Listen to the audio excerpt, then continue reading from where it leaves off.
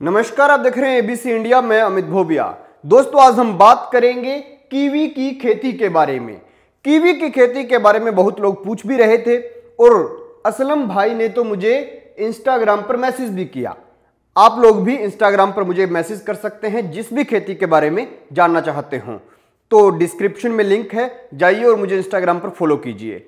इसी के साथ दोस्तों, चैनल को सब्सक्राइब कर लीजिए, बेल आइकन को दबा लीजिए, क्योंकि इस वीडियो में आपको मिलने वाला है कीवी की खेती के बारे में संपूर्ण ज्ञान। तो दोस्तों, सबसे पहले आपको यह समझने की ज़रूरत है कि कीवी के पौधे दो प्रकार के होते हैं, नर और मादा। नर और मादा दोनों ही पौधों की आवश्यकता होती है फ्रूट लेने के लिए। अब आपको क्या करना है, पाँच मादा पौधे जब लगाने हैं तो एक नर पौधा उनके बीच में ज़रूर लगाना है, तभी फ्रूट बनेगा। जो नर पौधा है, वो दो किस्में होती हैं जो भारत में उसकी मेन दो किस्में चलती हैं।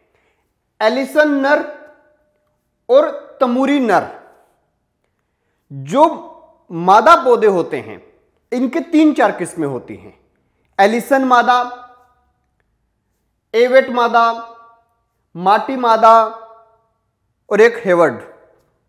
ये चार किस्में इसकी होती हैं। तो ये इनमें से कोई भी किस्म जो है, वो आप लगा सकते हैं। अब बात करते हैं दोस्तों, इसका पौधा लगाएँ कैसे? तो इसे लगाने के दो तरीके हैं। एक बीज के ज़रिए और दूसरा कलम के ज़रिए। सबसे बेस्ट तरीका है कलम के ज़रिए लगाने का। क्योंकि कलम के ज़रिए जब आप लगाएँगे, तब आपको यह मालूम होगा कि मादा पौधा कौन सा है और नर पौधा कौन सा है। बीज के ज़रिए लगाएँगे तो आपको यह पता ही नहीं चलेगा। दूसरी बात, जो बीज के ज़रिए लगाएँगे, ये सात से आठ साल ले लेगा फल देने के लिए। और जो कलम के ज़रिए लगाएँगे, वो पौधा आपको चार से पाँच साल के अंदर फल दे देगा। अब रही बात कि इसका प्राइस क्या रहता है पौधे का। तो पौधे का जो प्राइस है, वो लगभग डेढ़ सौ रुपए के आसपास रहता है। डेढ़ सौ का, एक सौ अस्सी का, एक सौ तीस का, इस तरह से मिल जाता है। हिमाचल के अंदर इसकी बहुत सारी सरकारी नर्सरियाँ हैं, वहाँ पर यह मिलता है। किस्म आप अपने हिसाब से चुन लीजिएगा। अब रही बात कि जो इसका पौधा है, ये लगाना कब चाहिए? कौन से मौसम में चाहिए? तो अब 15 दिसंबर से लेके 15 फरवरी तक कभी भी इसका पौधा लगा लीजिए। सबसे बेस्ट टाइम है, अब का जो टाइम है, वो सबसे बेस्ट है।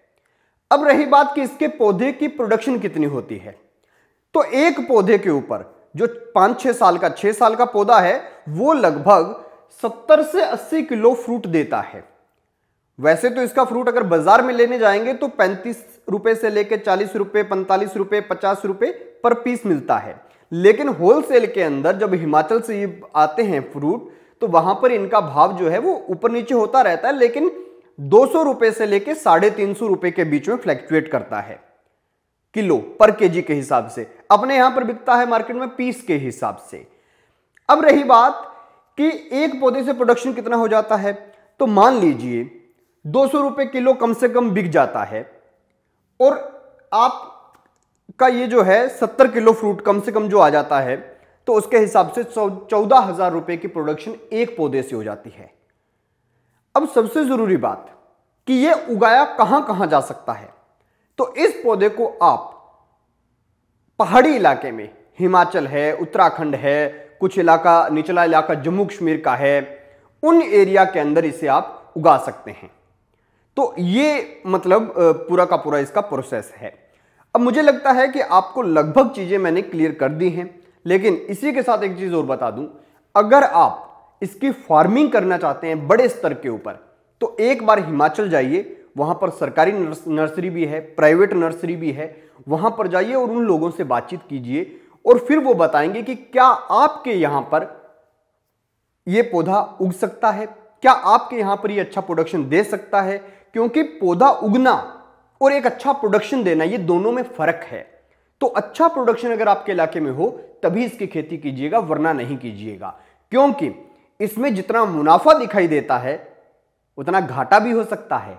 डेढ़ सौ डेढ़ सौ रुपए के पौधे लगाकर पाँच साल तक उन्हें संभालना और उसके बाद बहुत कम प्रोडक्शन मिले तो नुकसान हो सकता है। तो आप एक बार सरकारी नर्सरी में जाएँ प्राइवेट नर्सरी में जाएँ और जो हिमाचल में इसकी खेती कर रहे हैं, उत्तराखंड में इसकी खेती कर रहे हैं उन लोगों से बातचीत कीजिए और फिर आप इसकी खेती कर सकते हैं। खैर दोस्तों, ये वीडियो कैसी लगी कमेंट सेक्शन में ज़रूर बताएँ और हाँ इंस्टाग्राम पर मुझे फॉलो करना ना भूलिएगा और उसी के साथ साथ चैनल को सब्सक्राइब करना भी ना भूलिएगा। देखते रहिए एबीसी इंडिया